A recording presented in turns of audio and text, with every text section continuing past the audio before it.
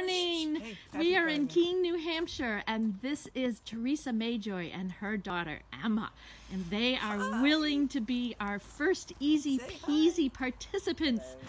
Can you say hello? Hello. Well, thank you very much. So, Emma and her mother are going to take these pea seeds from their little bitty envelope and place them into a glass. And the reason we are doing this is to soak these pea seeds overnight. They've been dried and we want them to be ready to germinate where we're going to plant them. So Theresa will pour the water first and you can see it's just a little bit of water. It's just enough to cover the seeds.